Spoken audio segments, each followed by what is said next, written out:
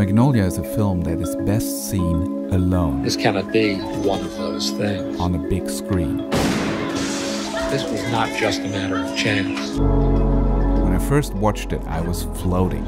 I felt every character's pain and I was utterly intrigued by the movements of camera and music, seamlessly connecting the vast number of storylines. The one thing I wasn't thinking about was the editing. There is a way where you have to ask something of the audience. It can't just be candy. The audience needs to go on the journey with the characters, and some part of that is time. Editor Dylan Tichenor and writer-director P.T. Anderson assembled a master study in parallel action that is emotional, plausible, and always surprising.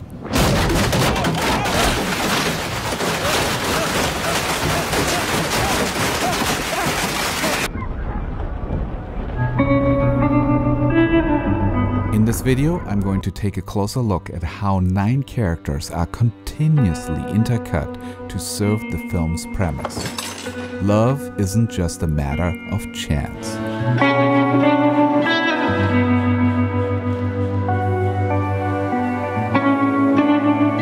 This video is brought to you by Milanote, a visual tool to stay organized and get creative. Free link in the show notes.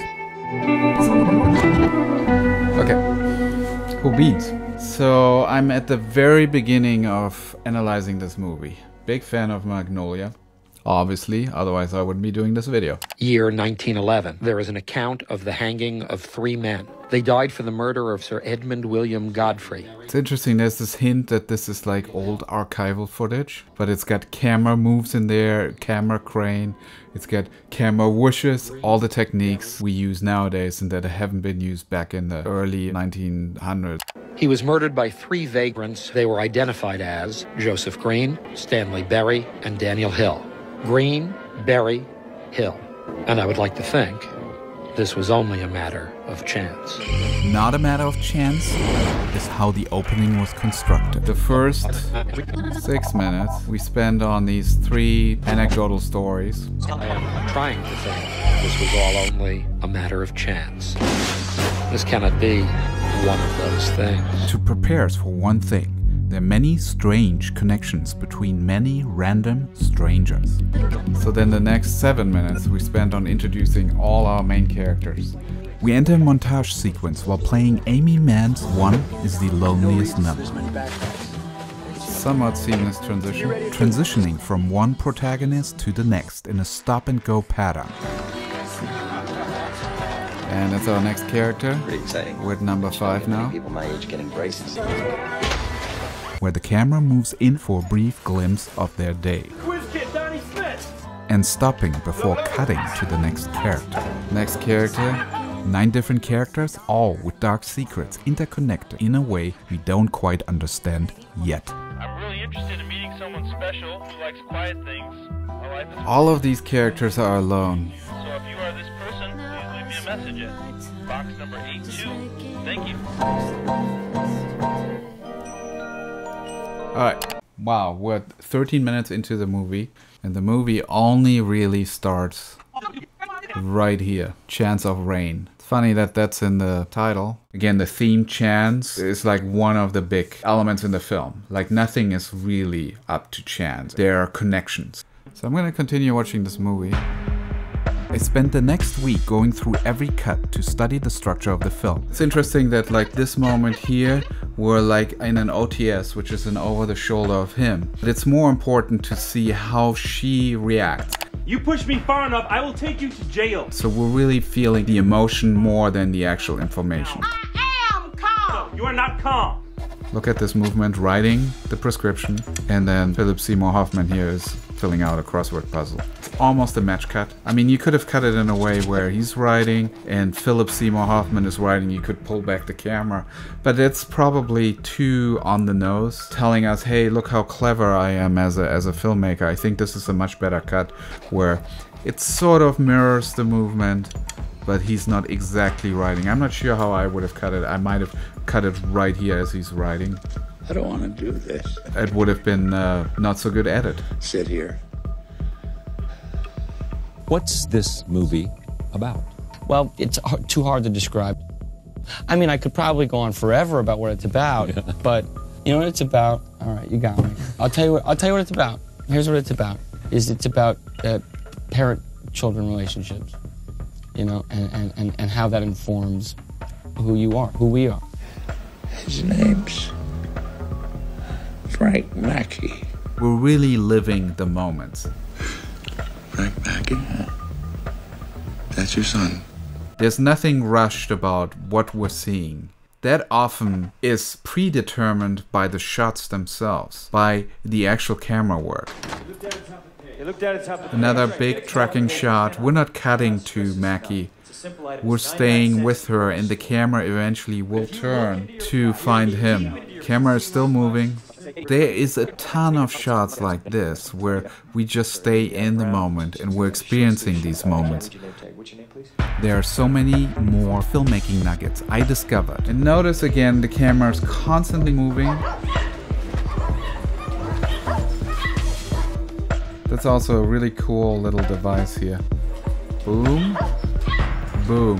Very stylistic filmmaking. But I want to stay focused on the blending of the numerous storylines. About an hour and four minutes in, they have a 60 second montage where we cut between all the different characters and each one intersected with a whoosh cut. One, we're cutting to Phil with a little whoosh, to Partridge with a whoosh. And you can see the markers here in my timeline. These are all the whooshes. Whoosh, camera's moving fast, whoosh, whoosh. And I looked at these whooshes more closely. They're 44 frames, 55 frames long, 13 frames. As they speed up, they hide a cut in between. So for example, this one right here, from here to here, like this is a cut right there. Here's another hidden cut right here. That's two different setups to him. Magnolia is stylistic, but its style is grounded in storytelling. So we're using the concept in editing that's called parallel action. So we're showing all the different characters as if it's all happening at the same time and the scenes are somewhat connected. Can I get you anything? No, no, no, no. I'm You sure? good. Thank you. She's good. I need coffee. You been on Prozac long? Dexedrine? I don't. Interesting drugs. Oh, my father, unfortunately, he passed away. Oh, I'm sorry. No. I, I had no idea. No, I please, wouldn't have please. brought that up No, if no, I'd no. known. There's something, you know, a situation between them, like they don't know each other much or well. I mean, like I said, he's dying. Dying of cancer. Where does that name come from? What name? My name? It's not your given name, right? It's my mother's name, actually. It's good. Good. Done your research. Okay, there you go. End of round one. A major structural device is the game show. The dynamic shifts and story turns of the entire film are set against the different rounds. Usually, when a round starts, the camera begins to move. Yes, Stanley. L'amouratan fasocha bella canunu puta privase. Ese moi va con la bella, celui qu'on vient de refuser. Unbelievable. When a round ends, the camera slows to a crawl and the music stops. I can't fucking do this. We reach this point of recovery and things slow down. I think I'm gonna throw up. I think. In one of those game show breaks, everything slows to a halt. Yeah? She lived in Tarzana.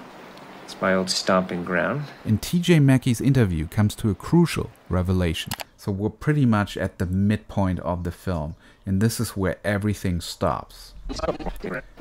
Notice how quiet it is. We can hear the room for the first time.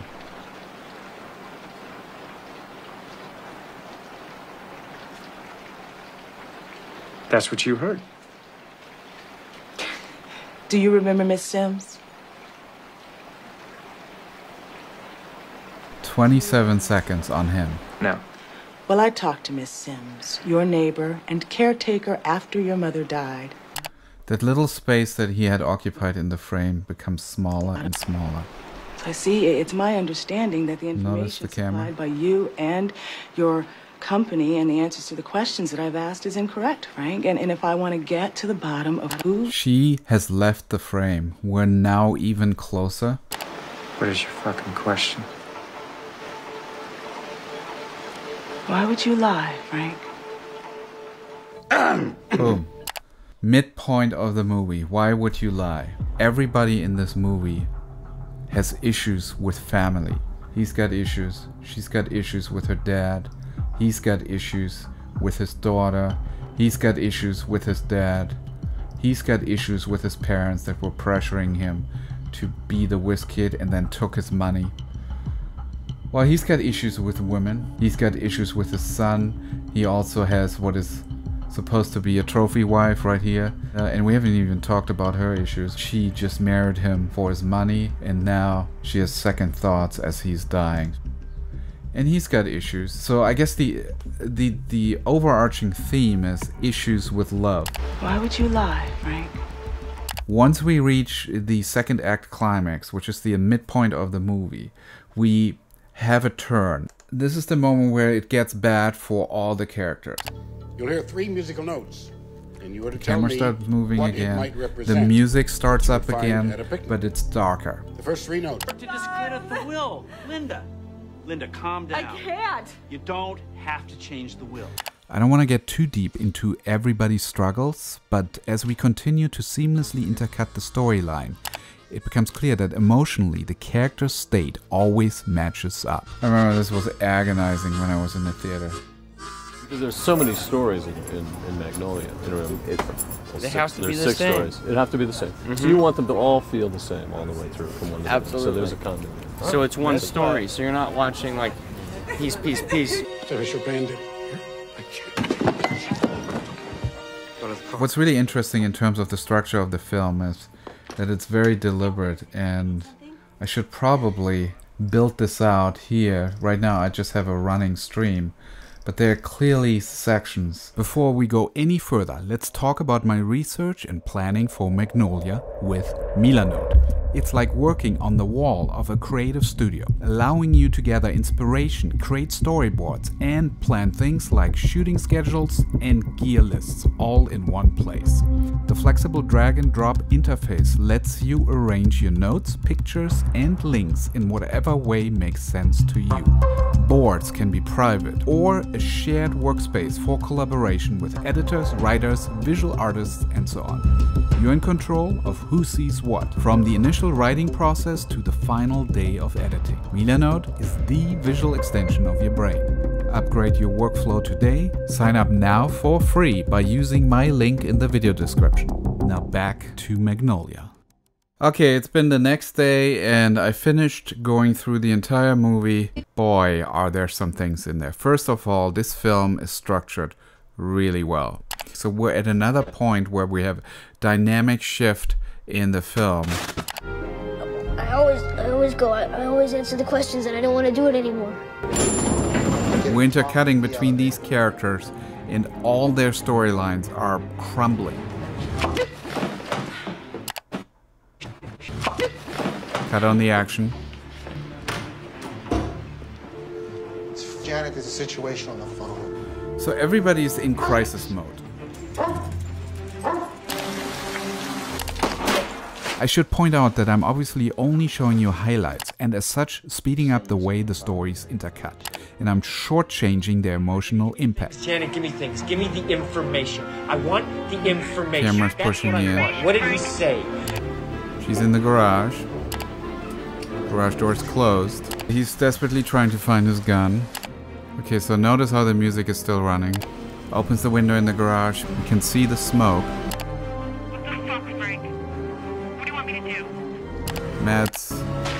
So she decides to not kill herself. This decision has been made. Now it's his turn to make a decision.